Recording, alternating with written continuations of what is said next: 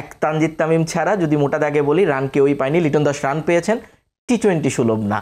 আক্ষেপের জায়গা কি আছে কিনা এটা নিয়ে? টি টোয়েন্টি সুলভ তো আসলে সূর্যা কুমার যদি এই ব্যাটিং করে আজকে আপনি যদি দেখেন 49 বলে 50 রিজওয়ান যদি এই ব্যাটিং করে আজকে খেলাটা কোথায় হচ্ছে সেটা দেখতে হবে। টি টোয়েন্টি সুলভ বলতে সবসময় দুইশো স্ট্রাইক রেটে রান করা বা একশো চল্লিশ স্ট্রাইক রেটে রান করা বোঝায় না। টি টোয়েন্টি সুলভটা ডিপেন্ড করে ক্রিকেট খেলাটাই ডিপেন্ড করে কন্ডিশনের উপর। কোন উইকেটে কি ডিমান্ড করছে সেই অনুযায়ী কিন্তু লিটন ফুলফিল করেছে আমাদের ডিমান্ডটাকে সো আমি বলব না যে টি টোয়েন্টি সুলভ ব্যাটিং করেছে বাট ওই সিচুয়েশন আমাদের যেটা ডিমান্ড করেছে সেটা ফুলফিল করতে পেরেছিল। এখন আসলে ওপেনাররা ফেল করেছে। এখন আপনি যদি একটা জিনিস দেখেন আমরা কিন্তু বারবার সবাই একটা জিনিস বারবার বলার চেষ্টা করি যে একে বাদ দাও একে বাদ দাও। আমাদের বাংলাদেশ ক্রিকেটের সবচেয়ে ভালো প্রচলন যেটা যে দলের বাইরে থেকে সে সেরা প্লেয়ার এটা কিন্তু সব সময়। বিকজ এটা কিন্তু আমরা রিসেন্টলি গত দশ বারো বছর যাবত একই চর্চা করে আসছি যে টিমে নেই স্কোয়াডে নেই বা ম্যাচ খেলছে না সেই ভালো প্লেয়ার তাকে নিলে ভালো করবে। সো এই সমস্যাটা আমরা ফেস করতে হচ্ছে। বাট এই মুহূর্তে আপনি যদি দেখেন সৌম্য কিন্তু খুব খারাপ খেলছিল না এই ওয়ার্ল্ড কাপের আগ পর্যন্ত। রান রান পায়নি। লিটন একটু স্ট্রাগল করছিল বাট তারপর আপনি দেখেন গত ওয়ার্ল্ড কাপ থেকে শুরু করে কিন্তু লিটন কিন্তু একদম খারাপ খেলেনি। এই মুহূর্তে তার সঙ্গে যাকে- অল্টারনেটিভ চিন্তা করা হয়, তার সঙ্গে কম্পেয়ার করলে লিটন কিন্তু তার চেয়েও বেটার মনে হয়। সেই বেটার জায়গায় চিন্তা করতে পারে। এবং আপনার আরেকটা বিষয় হচ্ছে আইসিসি ইভেন্ট কিন্তু এক্সপিরিয়েন্স ম্যাটার করে।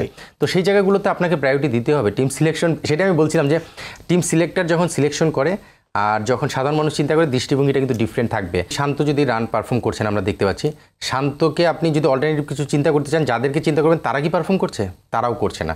সো আরেকটা বিষয় হচ্ছে শান্ত ক্যাপ্টেন হওয়ার পরে এটা আপনি যেমন মোটা দাগে একটা কথা বললেন সেই মোটা দাগে বলা যায় ড্রেসিং রুমের অ্যাটমসফিয়ার টিমের এনভায়রনমেন্ট সেই জায়গাগুলোর আপনার পজিটিভ দাগ দুর্দান্তভাবে change হয়েছে তো সেই জায়গাটাই কিন্তু আপনি টিম রেজাল্ট করছে যেটা আগে হয়েছে আপনি যেটা বললেন ক্যাপ্টেন পারফর্ম করেনি দলও পারফর্ম করেনি।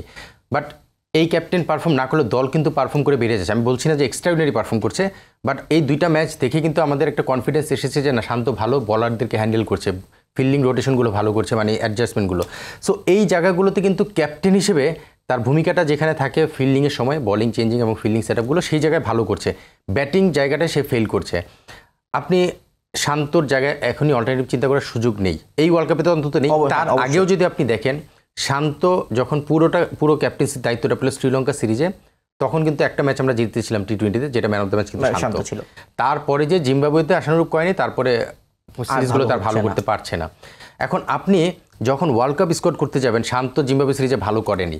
আপনি কি শান্তকে বাদ দিয়ে দিবেন? কাকে নেবেন সো এইসব আসলে এখন চিন্তাগুলো অনেক করা যায়। এই চিন্তাগুলো আসলে এখনই ওয়ার্ল্ড কাপের সময় ওইভাবে চিন্তা করার কোনো সুযোগ ছিল না। যে ক্যাপ্টেন তার উপর ভরসা রাখতে হয়েছে এবং দল ভালো করছে। দিন শেষে কিন্তু ক্যাপ্টেন অনেক সময় পারফর্ম না করলে দল ভালো করলে সেটাকে অ্যাডভান্টেজ দেওয়া যায়। সেই জায়গা থেকে আমার মনে হয় শান্ত অ্যাডভান্টেজটা পেয়ে যাচ্ছে।